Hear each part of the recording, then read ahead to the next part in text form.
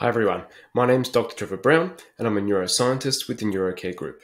In this episode, I'm going to chat with Dr. Mike Fox, Director of Harvard Medical School, about his research into brain connectivity mapping in mental health and its application to clinical treatment using brain stimulation, and much more. So we hope you get a lot out of that. At NeuroCare, we're all about bringing the newest evidence based treatment to everyday clinicians so we can make these therapies more accessible to more people. A great next step is to sign up for one of our online courses on the NeuroCare LMS. Here you can start learning how to apply TMS, neurofeedback, or TDCS in your own clinical practice. This can be followed up by one of our practical workshops, which we hold worldwide. There's a link below. Thanks again, enjoy the video, and maybe see you in one of our live workshops. Welcome to NeuroCare Academy, and um, look, thank you very much, Mike, for joining us. We've got Dr. Dee Fox, neurologist and director at the Center for Brain Circuit Therapeutics from Harvard Medical School. Thank you very much, Mike, for joining us. Yeah, thank you so much, Trevor, for having me. Okay, excellent. Now, we met just a few months ago at uh, the challenge workshop called Non Invasive Brain Stimulation in Crans-Montana, Switzerland. And um, it was put together by Professor Luigi Polverenti for the Neuroscience School of Advanced Studies. And uh, it was a great week, wasn't it, Mike? How did you enjoy that? That's uh, probably the prettiest place I have ever been for a uh, conference. Uh, incredible group of people. Yeah, yeah, and that was fantastic. And um, the director Nolan Williams got together a great team. Uh, there was Martijn Arns, Charlotte Stagg, Conor Liston, Jonathan Downar. Um, what what did we do during the week? There were some presentations, Mike, and some informal chatting. Yeah, I mean, just uh, you, you, get a brilliant group of people together like that. I, I was honored to be a part of it and uh, just learn from my colleagues about how they're thinking about the future of, of non-invasive brain stimulation and and was just very happy to contribute. And then I, I think the the participants in the challenge workshop, yourself included, um, really added to it, brought in a fresh perspective, and and it, it was a good time. Uh, really, really enjoyable meeting. Yeah, look, I really uh, would really recommend it to anyone, and um, it was fantastic to just to get that that those structured presentations, but also the the unstructured, just walking up and down the mountains with you guys and and chatting away. It was uh, really a great week. So, uh, look, the main focus for today, Mike, is to talk to you about your work and um, future directions for brain stimulation, your value to the, the, the, brain stimulation community up until this point has been enormous, but we really want to focus today a little bit on the functional connections work that you've been involved with with fMRI, uh, really changing the way that we see mental health and individualizing treatment uh, for people based on their own individual neural circuitry. Can you just tell us in a, in a nutshell, in a couple of minutes, what, what the major um, branch of your research has been involved with? Yeah, yeah, no, it's it's um, it's gone through an evolution. Um, so I, I think uh, during graduate school, I I got into uh, this resting state functional connectivity. I was very fortunate to be at, at WashU in St. Louis, uh, working with people like Mark Raichle at a time where this technology was first emerging. Uh, the ability to put someone in an MRI scanner and look at spontaneous fluctuations in their brain activity. And it turns out these spontaneous fluctuations are, are correlated um, between uh, connected brain regions and correlated within connected brain circuits. And it gave us a very powerful tool for mapping out how the human brain is wired up and what the functional relationships are between different brain regions. And we did a lot of fun neuroscience with this new imaging technology. But as I kind of transitioned from being a, a PhD student into being a neurologist and got my medical training and, and my neurology training, um, I was constantly asking the question of, hey, now that we have this this new ability to see how the human brain is wired up, seems like that's got to be useful to help some patients. And in what area of, of neuroscience or, or neurology or psychiatry is, is primed where this brain connectivity information could be useful for improving therapy? And that's where brain stimulation came in. Uh, where we had um, amazing brain stimulation treatments like deep brain stimulation for Parkinson's disease or tremor, or non invasive brain stimulation for depression, where, where we knew we were getting clinical effects, we knew we were helping patients, but nobody really knew how it worked. Um, but there seemed to be uniform agreement that brain connectivity had to be playing a role, and that as soon as we turned on a stimulator, that stimulation was immediately propagating to affect everything the stimulation site was connected to. So it didn't take long uh, to find collaborators that were interested in helping me put these things together to see whether or not this new uh, method for looking at how the brain's wired up could help inform our brain stimulation therapies. Fantastic, Ex- excellent. And um, and so you're using this now in your clinical practice, and all the goal of all this research is to to be able to put this into the clinical practice in terms of um, brain lesions, focal ultrasound, but also non-invasive brain stimulation like transcranial magnetic stimulation. Is that right? Is that what you're using at the moment? Yes, I, I would say it's very much um, uh, is part of my research practice. So 100% we're using this this technology and this this wiring diagram of the human brain to understand how lesions can cause the symptoms they cause, or understand how brain stimulation can have the effects it has. And on the research side, we're, we're using this to try and make these treatments better. Now, on the clinical side, um, I'd say we're just beginning to reach the point where some of this research is beginning to translate into our clinic. Um, but for the most part, these clinical treatments are still administered the way they were administered in the big randomized controlled trial led to the FDA approval in the first place. Um, and the reason that there's a divide there is you know, once you have a big randomized clinical trial proving that something's safe and effective, there's a very large hurdle to try and make that treatment better based on a research idea. Um, and so we're probably going to spend a lot of this podcast talking about the the research ideas and the exciting research that we're doing. But but I do think it's important for the clinicians on the call to to understand that there is still a gap there. There is still a translation process that has to occur uh, for us to begin to implement these exciting research findings in our clinical practice. And so I'd yeah. say, it, it, you know, most of my clinical practice is still just doing it the way that everybody else does it, um, with some research pieces that are beginning to filter in. Yeah, absolutely, absolutely. It's a it's a long journey, isn't it? And uh, takes some time for this to to come into clinical practice, but exciting. It's exciting to know that it's just around the corner. Um, so you mentioned a little bit about um, your education there, but can you start to um, tell us a little bit about where you grew up in the states? Uh, was it only in the states, and your ed- education there? Yeah, sure. So, so uh, I don't know if this has come up in a prior interview. So I, I, like how you're starting. So no, I, I grew up in um, kind of a, a, rural area of Ohio, um, in between Cincinnati and Dayton uh, smaller town called West Chester, Ohio. A really great place to grow up. Uh, you know, in the woods, playing in the creek every day, making forts. Um, went to uh, went to a Jesuit high school in Cincinnati um, called Saint Xavier High School. Very um, good high school, um, both for academics, but then also for growing you as a person. And that um, kind of set me up for a, a wonderful experience at Ohio State University uh, where I went and did my undergraduate degree in electrical engineering. Um, and it's a great school for engineering.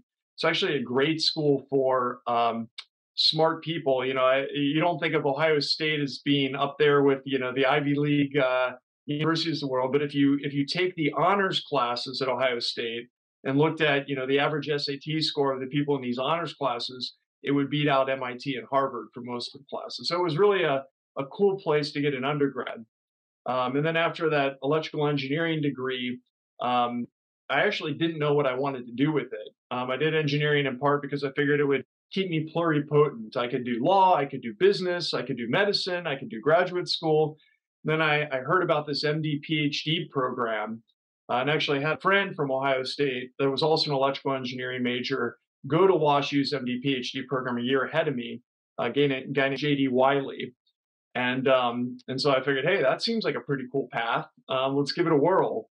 And so I uh, ended up moving to St. Louis to to do the WashU MD PhD, which was again incredible. I told you a little bit earlier about how much I loved graduate school and working with Mark Raichle and being into places they were just developing a new imaging technology. Um, but the the MD part of it was also very nice. Um, and that took me about seven years to do an MD PhD I did an intern year at WashU at Barnes Jewish Hospital. That's when I moved to Boston to do my neurology residency and my, my brain stimulation and movement disorders fellowship. Fantastic. And that's when you started. Is that when you published around 2005 the information on the two attention systems, dorsal and ventral attention network. Is that approximately that, that period? Yeah, so I was back in graduate school. So I was when I was a PhD student with Mark. Um, and, and we first kind of got this resting state functional connectivity um, up and running in a way that we were happy with. It took a about a year, year and a half of software development of trying different processing strategies before we were convinced that there was something in this data other than just noise. Um, and, and a lot of people had actually looked at resting state functional connectivity. In fact, that the first paper was by Bharat Biswal in 1995, showing that you could do this, that you could look at the correlations in the spontaneous activity. But between 1995 and 2005, a lot of the focus was on, you know, is this all noise? Are we just looking at respirations? Are we looking at cardiac pulsations? Is this just people moving in the scanner? Um, and and it wasn't until you know close to 2005 that people started publishing, you know, functional connectivity networks that we looked at and, and said, wow, this this looks real. In fact, it was a paper by Mike Greicius out at Stanford where he um, looked at functional connectivity in the default mode network and that's multiple different vascular territories, right? So you really couldn't blame physiological noise on that. That had to be neural activity giving you that pattern.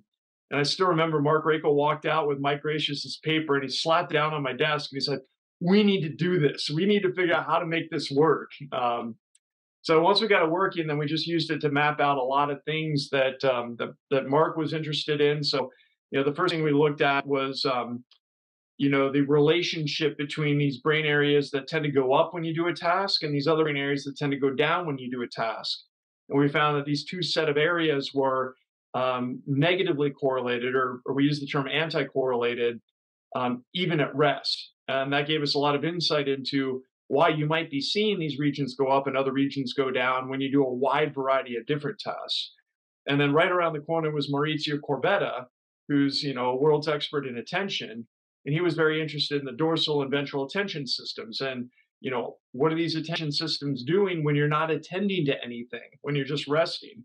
And we were able to kind of map out these attention systems just based on these patterns in spontaneous activity. And kind of on it went mapping out different you know brain networks or brain circuits that were of interest to the faculty that was at WashU. Fantastic.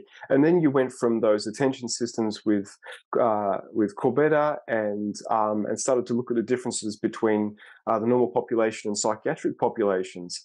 Um, was around 2010. You you you started to look at it as a, a preoperative mapping tool and differences in in psychiatric populations, those sorts of things. You you sort of moved on to some things that you were interested in rather than uh, the attention systems. Yeah, we, we did a few things. I, th- I think one of the things I was most interested in is is um, uh, you know trial to trial variability, right? So um, you know this was at a time where everybody in the world was still focused on task based activation, right? Task based fMRI. And one of the things that was the bane of the existence for people to try to map out um, networks based on what goes up when you tap a finger, right? You, you mentioned preoperative mapping if you're trying to do preoperative mapping by having someone tap their fingers, there's so much noise in that signal that they have to tap their fingers over and again, over again, over again, and you have to average all that signal together in order to get a clean map of where the motor cortex is. And so one of the things that that I started looking into is how does spontaneous activity interact with task evoked responses? And is it just kind of ongoing activity that's just adding noise into our task evoked measurements? And if so, can we show that these two are sitting on top of one another and show that the variability in task activation is actually driven by the ongoing spontaneous activity? And in fact, if it is, can we show that that actually is introducing noise or variability into our behavior? Um, and we were able to show those things. Um, and, and so again, it's just very basic neuroscience, right? Of, of how do we understand ongoing spontaneous activity, variability in behavior, variability in task evoked brain responses. Um, and it, it, wasn't until later that that you know the question came up. All right, you know, can we use this to identify circuit abnormalities in neurological psychiatric populations?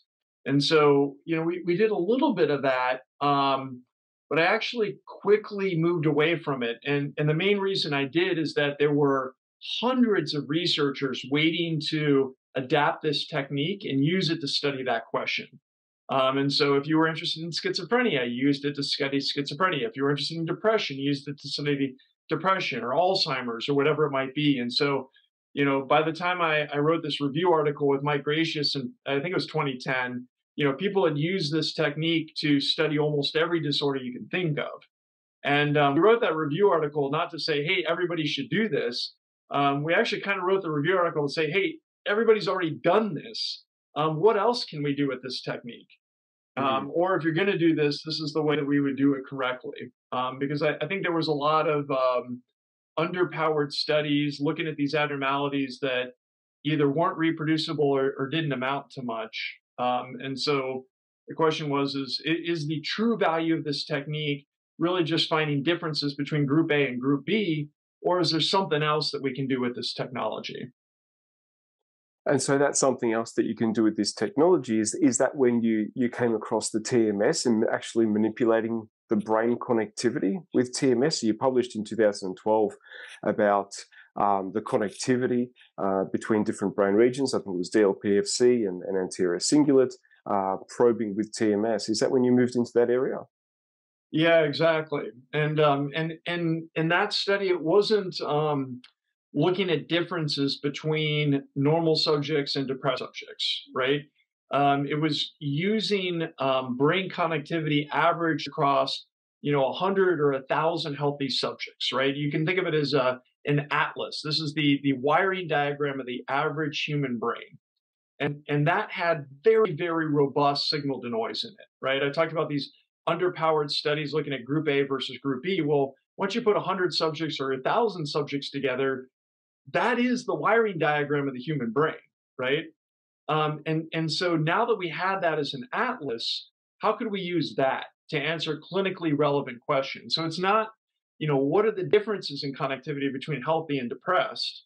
Um, it's more a, um, where do we need to stimulate to help depression? And so that was the big clinical problem at the time. And nobody really knew where we should hold the TMS coil to go ahead and help depression um, there was this idea that oh it's somewhere over the left frontal cortex okay great that that's a big area of brain where over the left frontal cortex and so at, the same time there was all this interest in you know the subgenual cingulate and the limbic system and oh you know this is our dbs target for depression. So we said hey if if the limbic system and the subgenual cingulate is such a critical node for depression maybe the spot in the frontal cortex that we should be stimulating is the spot that's connected to that. Well, that's when we turn to our wiring diagram of the human brain, the atlas, and we can say, hey, we now have a tool that can tell us exactly where in the frontal cortex would be the ideal spot to stimulate if the goal is to find the spot that's connected to the limbic system. And so the, the 2012 paper was really kind of just a concept paper saying, hey, you know, here's the limbic system or the subgenual cingulate, here's connectivity with that. And, and does that line up with spots in the frontal cortex that seem to me more versus less effective for depression? And, and at a rough approximation, it did line up. And that set off this idea that, hey, maybe you can identify the brain circuit that you need to hit to pick out what node in the frontal cortex you should go after to, to hit a distributed circuit. And so it kind of moved um, I won't say move the field because people were already thinking in terms of circuits and circuit targets. And, you know, the original studies on TMS repression knew it wasn't just one region. They knew it wasn't just the frontal cortex. They knew they were going after a circuit. Um, it just took a while for the technology to catch up with their idea to say, okay, now we actually have a tool that can visualize the circuit that you were going after all along and help us figure out where in the frontal cortex might be the right spot to get at that circuit. Hmm. And you're a really, um, you know, uh, interesting position as a neurologist, having had experience with deep brain stimulation, and and the deep brain stimulation actually is able to get to those deeper brain regions and stimulate areas of the cortex. And did that inform your knowledge of the connectivity and the circuitry involved in in depression at all? Yeah, no, 100%. It played a major role um, in in the sense of um, you know, TMS is is definitely a, a very powerful and impressive treatment, and I've seen patients have you know miracle level responses, but it's not everybody. and the effect size is still nowhere close to what you see with deep brain stimulation. Um, when you turn on those DBS electrodes and somebody's massive severe tremor just stops dead in its tracks, right? Or mm. or you turn on somebody with Parkinson's DBS electrodes and all of a sudden they get up out of their wheelchair, right? And they walk around. I mean, it, it, that is a miracle, right? And so part of my thinking and motivation was to say, hey, we've got these massive effect sizes with deep brain stimulation. Um, how do we leverage that to improve something like non-invasive brain stimulation? And, um, and, and at the same time, we were seeing a lot of um, cross-modal translation where people were trying to use TMS to treat Parkinson's, right? Well, we, we know that DBS works really well for Parkinson's, so you got to be going after the same circuit, right? If you can stimulate this deep spot and stimulate this surface spot, well, they got to be connected and related to one another. Um, same thing with depression, right? This is when Helen Mayberg was doing her pioneering work of, of subgenual DBS. And we, we got to say, okay, there, there, has got to be a, a, relationship, a connection between what, what Helen Mayberg's doing with her DBS electrodes and what we're trying to do with our TMS coils. Um, and so the, the, the, DBS very much motivated the thought process, but it was more this idea of if DBS works for this symptom and TMS works for this symptom, you got to be just hitting different nodes in the same circuit. So can we use this circuit imaging technology to back out where that circuit might be and refine our DBS targets and refine our T- TMS targets. And so, what you found using your techniques from that anti correlation that you were talking about before, so you were starting to probe different areas of the DLPFC, the dorsolateral prefrontal cortex, with TMS, and you were getting some anti correlation with deeper brain regions, being the ACC or the subgenual anterior cingulate, to actually identify and pinpoint the area on the DLPFC for an individual. Is that correct? Well, you actually make it sound like we did a lot more work than we did. so, so, so people t- oftentimes think, you know, that we we actually went in and TMSed multiple different spots in the dorsolateral prefrontal cortex to see which spot would actually modulate the subgenual. Um, we didn't do that. That work came much later. Um, uh, Desmond Oathes is doing some of that. Um, there's great work um, out of Stanford uh, of people working on that. But but at the time, um, we didn't have TMS fMRI. We couldn't do those types of experiments, and they're very hard to do. Um, the the signal to noise is not great when you try to to TMS different spots and see what that does to a deep limbic region. Um, instead, what we did was much much simpler. We just said, hey, here's the spot we want to modulate um, in the subgenual cingulate. So that's our seed region. All right, what's it connected to? Ah, it's connected to this spot in the frontal cortex okay, um, let's take other data um, from the TMS literature and say, is there any evidence that as we get closer to that spot, people tend to respond better? And we said, okay, well, we don't have a lot of evidence, but here's one trial that stimulated spot A versus spot B, and spot A was a little bit better. This was Paul Fitzgerald's work. And we said, hey, that lines up with this topography.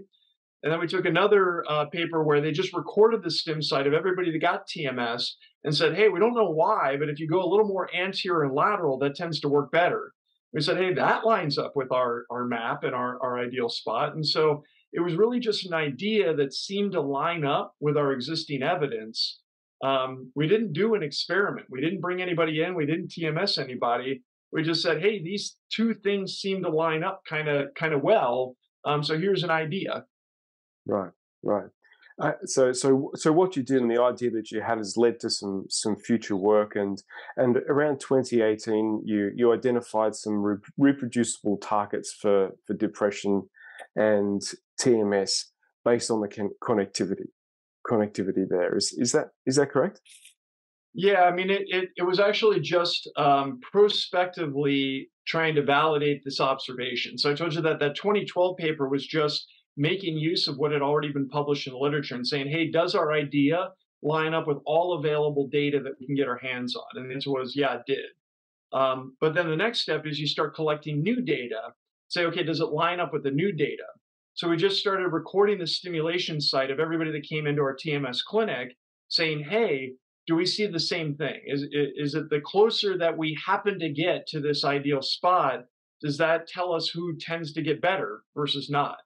Um, and and it, it did it worked um, so so the closer people were incidentally stimulated at this ideal spot, um, the better they did. Um, and then um, uh, Robin Cash in Australia was was collecting data at the same time with Paul Fitzgerald and got a very similar result. Uh, and again, neither of these was targeting this ideal spot.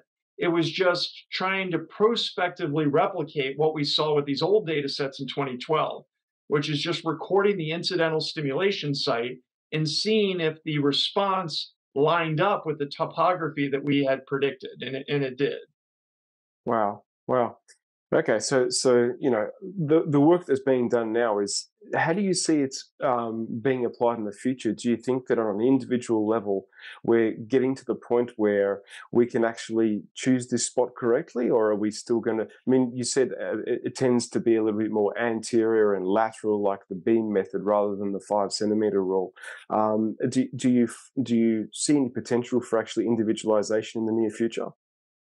Yeah, I, I, I, do. So there's there's a lot of different directions uh, as to where we go from here, right? So, um, you know, before we get into the individual individualization, one is just you know, do we have a new target for TMS for depression, right? In other words, um, the way we do it clinically is five and a half centimeters in front of motor cortex, right? Or we use the Beam F3 approach, but but both of those are based on scalp measurements. And so, you know, are we at the point where we say, aha, these are the MNI coordinates that we should be targeting for depression? Um, and I'd say the, the answer is not known yet. Um, so some people would say yes. So Jonathan Downar, when he launched his um, you know landmark 3D trial, he said, yeah, we are at that point. Um, we're going to compare 10 hertz to theta burst, and in every one of these patients, we're going to neuronavigate to these MNI coordinates. That is the ideal spot that's anticorrelated with the subgenual, right? But but we kind of missed a piece there, right? We never said, okay, let's do a randomized controlled trial, hit these ideal MNI coordinates versus scalp-based targeting, right? Versus five and a half centimeters or Beam F3. Um, so nobody's ever done that trial. So we don't know if you know targeting those MNI coordinates actually leads to a better antidepressant response.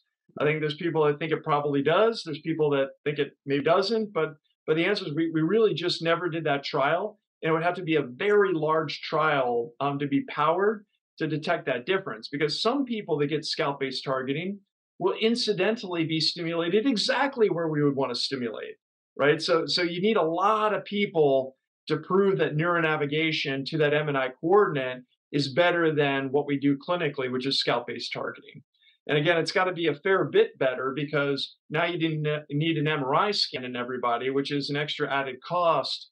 Um, when scalp-based targeting, you know, 50, 60% of people do do respond um, mm-hmm. without the MRI. So I'd say that's question one: is is do we have a better coordinate to stimulate for TMS for depression? And and we just don't know the answer to that yet. Um, and we might never know because you'd have to power the trial so large in order to get that answer. Uh, your second question is okay, are we at a point where we can individualize the treatment? So that's now the next step, which is okay, we don't have just an optimized group based target, but now what we're going to do is we're going to map out everybody's individualized circuit. So, where is their spot that's anticorrelated with the subgenual? And is that spot the ideal TMS target for depression? Again, nobody ever did that trial where they compared individualized anti subgenual targeting to scalp based targeting.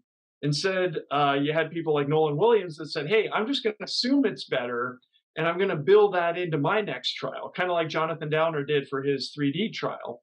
Um, and he built it into his, um, you know, accelerated theta burst or, or what he calls um, his SAINT protocol. Um, but there's a lot of different things that went into to that, including delivering TMS every hour on the hour for 10 times per day rather than delivering stimulation once per week. Um, but, but he did it to this individualized anti-subgenual node and got these phenomenal response rates. So now 80, 90% of people were not just responding, they were remitting. Um, and those are, you know, levels that you don't even see with ECT.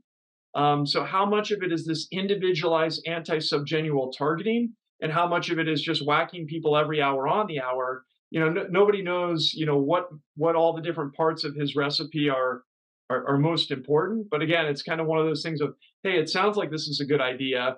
rather than do this really expensive randomized trial, we're just going to assume this idea is right and move on to the next step. Mm-hmm. Um, so I, I, think at this point we've got individualized anti-subgenual targeting. It's part of the SAINT treatment, um, and it may or may not be a critical component, but it seems to be working pretty well. And then we've got an you know an average group-based target that they used in the 3D trial that may or may not be better, but we know how it does in the 3D trial. Um, and we know that if you stimulate that coordinate, the theta burst is equal to 10 hertz. Um, and then I'd say the last part, and probably where I put my nickel down, is beginning to individualize it based on symptoms. So one of the things that we saw in the 3D trial is that when they moved and did neuronavigated TMS, you know, they never compared it to scalp-based targeting, but you can look at the average response rates in that trial, and they didn't get this dramatic boost in response rate, right? And that really bothered me because if we're right, that's a better treatment for depression. You know, you would have hoped to see, you know, uh, in you know, increased in efficacy with his trial. And so, one of the things that we think might be going on is symptom specificity. That that not all symptoms of depression require the same target. And so, to truly individualize it, it might not be, oh, let's individualize it based on individual functional connectivity, like Nolan did it might be let's look at what circuits are responsible for what symptoms and say, okay, what are the symptoms that are the biggest problem in this patient? Um, because maybe it's the anxiety questions in the depression questionnaire, right? Maybe it's the guilt questions, maybe it's the concentration questions. And that's all part of our quote unquote depression, but almost certainly those things don't all map onto the same circuit target. And so maybe that is a higher yield way to individualize it and again, that's what we do in DBS for Parkinson's. So, so it might not be the DLPFC and its connectivity to the ACC, which is necessarily highly correlated to this person's symptoms. It might be like Jonathan Downar's group, looking at dorsomedial area or the orbitofrontal cortex, which is most highly related to the most severe symptoms of this patient. So I guess your work with knowing the connectivity of the human brain can elucidate that a little bit for us and, and, and we can say, well, for instance, individualizing for this patient, it might be time to, to try the dorsomedial rather than different specific areas around the DLPFC. Yeah, exactly. I'd say the only um, uh, it, yes, and and and the stuff that Jonathan Downar is is getting um, based on you know his clinical intuition and seeing a lot of patients and trying a lot of targets, you know, and, and you know his is almost a trial and error approach based on what this brain region does, right? What does dorsal medial do? What does orbital frontal do? Let's try and target it in a bunch of patients. Let's see how those patients do, and then he refines his algorithm. Um, and it's really a, a very powerful approach to find new targets and find what targets best for which symptoms. And then on our end, we, we do something similar, but we we bring brain connectivity into it. And so we say, okay, you know, here's a data set of 100 patients. Everybody got stimulated at a slightly different site. Um, this is what those different sites are connected to. So now we can back out what brain circuit do we need to be hitting to improve different symptoms of depression. Um, and this is a paper that Shan Siddiqi put together um, fairly recently um, suggesting that there might really be two big circuit targets for two big clusters of depression symptoms. And right now, Shan is testing that prospectively by targeting one circuit half the patients and targeting the other circuit half the patients and saying, hey, you know, do different sets of symptoms get better depending on what circuit we're hitting with TMS? Right, right, and try to sift through all those symptoms and relate them to the, the circuitry involved it's um, wow, it's, it's, a it's a pretty exciting um, decade of brain brain stimulation research in psychiatry. Um, uh, Mike, look, when when from your perspective as a neurologist, and, and you're working with um, lesions and focal ultrasounds, and you, you also got a great knowledge of TMS. Are there horses for courses a little bit here? Are certain interventions for certain types of populations. Can you sort of elucidate for us a little bit about what you use different techniques for? Yeah, it's, it's a great question. Um, so a lot of it is is historical, right? In other words, um, you know, they, they actually had lesion-based treatments for psychiatric disease before they had lesion-based treatments for movement disorders. Um, but for you know reasons that you're you're well familiar with those lesion-based treatments for psychiatric disease um, fell out of favor. You know, they were doing frontal lobotomies, things that were very nonspecific that had um, pretty severe side effects, and that um, in a way, you know, tainted lesion-based intervention for psychiatric disease, right? Um, versus lesion-based treatments for movement disorders, they also had a lot of side effects. All the first patients that got lesions for Parkinson's were left paralyzed on half of their body, but it stopped their tremor, so it was considered a win. Um, you know, and so a lot of it's just been historical of trying to use the technologies that we have at the time for treating a lot of different symptoms. And then the ones that um, converge on treatments where the benefits outweigh the side effects and the risks, those treatments persist and get refined, like lesion treatments for movement disorders. Um, in those areas where you chose poorly or the lesions were too big and the side effects were disproportionate relative to the benefit, like psychosurgery, those treatments understandably fell out of favor. Um, and then, you know, as they were doing lesion based treatments for movement disorders, they noticed they could turn on the DBS electrode and not create a lesion, but have a similar benefit. So that led to DBS for movement disorders, right? Um, and then when they were developing TMS, well, you know, they could see that TMS was having a physiological effect on the motor cortex. Um, that was at a time where they had just gotten a lot of new data suggesting that the left frontal cortex was critical for depression, um, where they looked at lesion-based treat, you know, uh, not treatments, but just incidental strokes that cause depression, and they seem to be more in the left frontal cortex. And they looked at imaging and people with depression; they seem to have decreased activity in the left frontal cortex. And they said, "Hey, we've got this new TMS coil that can apparently excite cortical tissue." What's the disorder that seems to be a problem of not enough excitation in some part of cortex that we can get to. All right, depression makes sense. Let's give it a try. Um, but but I, I think you know that led to the let's use this type of neuromodulation treatment for this type of symptom, and let's use this different type of neuromodulation treatment for this different type of symptom. And so, you know, DBS was owned by neurology and neurosurgery and used for neurological conditions, but only recently has it started to be used for psychiatric disease. And then non-invasive brain stimulation has been more in the, the realm of psychiatry and, and just now beginning to translate into neurology. And then, you know, lesion-based treatments. Well, our only focus ultrasound treatment um, FDA approval right now is, um, uh, you know, burning a lesion for tremor. Um, but we just got authorization to start the first U.S.-based trial of focus ultrasound for obsessive compulsive disorder. Um, so I think that that history dictated what brain stimulation treatments to use for what disorder. But the future is recognizing that all of these symptoms map onto brain circuits. And it doesn't matter if you're talking about a neurological symptom or a psychiatric symptom, it's the brain circuit that is the target. And you could go after that brain circuit with DBS, with focus ultrasound, with TMS, with new technology around the corner.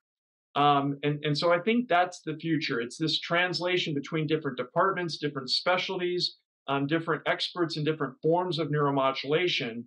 Um, that, that's actually the whole motivation for launching the center that we launched is, is the idea that, hey, we've got to get the neurosurgeons talking to the psychiatrists, talking to the neuroradiologists, and the TMS people need to learn from the DBS people and vice versa, because I think that they're all going to be operating from a similar set of, of circuit targets and a similar set of principles and constraints that will um, help all these fields uh, get better.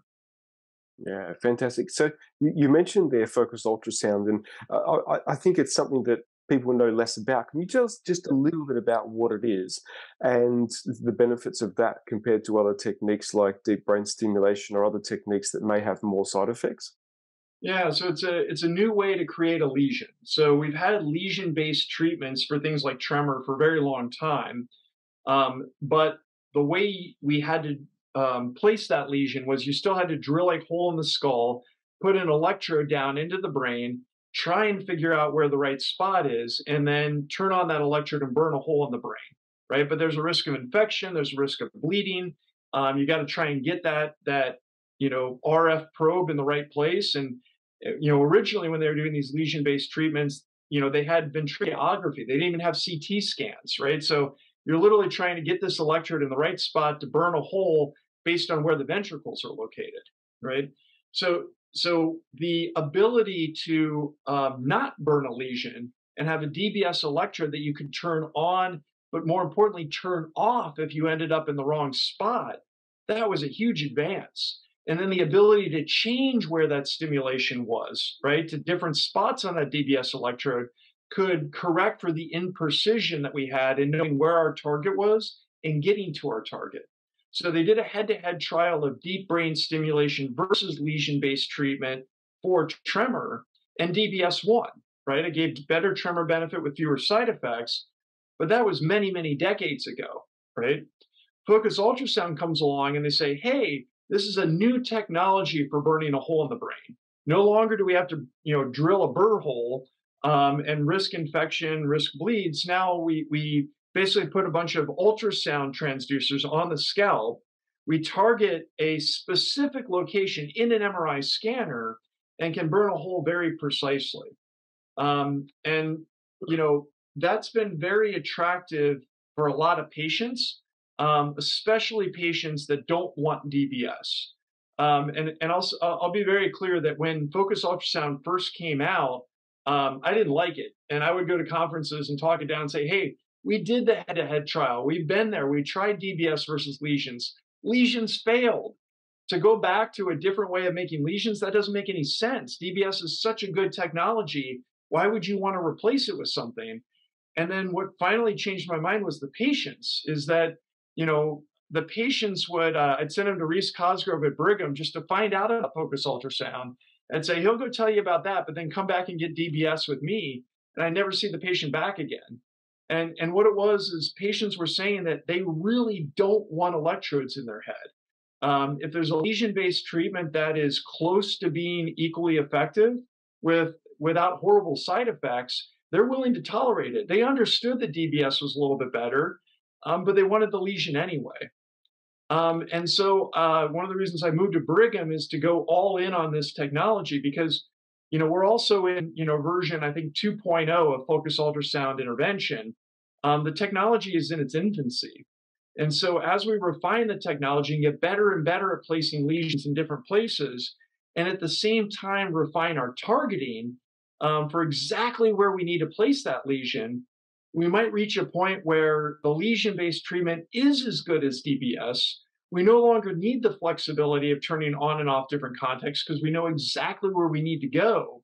And at that point, I think lesion-based treatment might actually, you know, come back into vogue for a lot of different indications, um, especially things like psychiatric disease, where um, it can be very anxiety-provoking to have electrodes in your head. So if now want to make anxiety better by putting electrodes in someone's head, you know you, you could almost work uh, counterproductively to the treatment that you're you're trying to to to, to get. Mm, mm.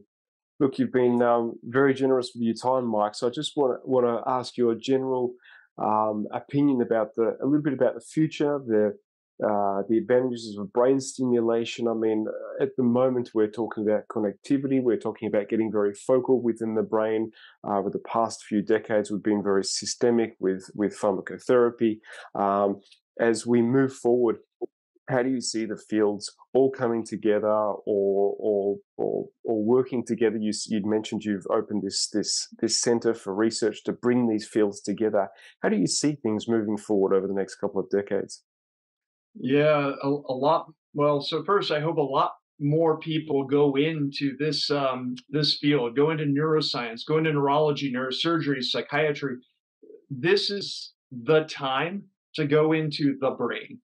Um, and it doesn't matter what brain symptom you're most interested in, the tools that we have available and the treatments that we have available, um, it, it's just a very, very exciting point in history to be, be working in this, this area. So I, I think the future is um, recruiting young talent into the field, um, mapping symptoms onto circuits, independent of whether that's a neurology symptom or psychiatric symptom, and then intervening on those circuits for symptom relief, independent of whether that intervention is a TMS coil, a DBS electrode, or a focus ultrasound lesion. Yeah, yeah, absolutely. Look, um, thanks very much, Mike. It's been it's been fantastic to speak with you, and uh, good luck with all your endeavours there. And you're pushing the field forward in a great way. So, hope to see you again uh, next year at the next uh, brain stimulation conference in Switzerland. That'd be great. Yeah, definitely. Get get in some more beautiful hiking. Th- thank you so much, Trevor, for having me. It was a great time. Excellent. Thank you very much, and uh, we'll see you soon. All right. Thanks, Trevor. Have a great evening. Thanks for watching. If you work in the mental health field or you're a budding researcher in neuroscience, you might be interested in some of the other conversations I've had with other experts in the series. Please like, subscribe, and let us know what you think in the comments.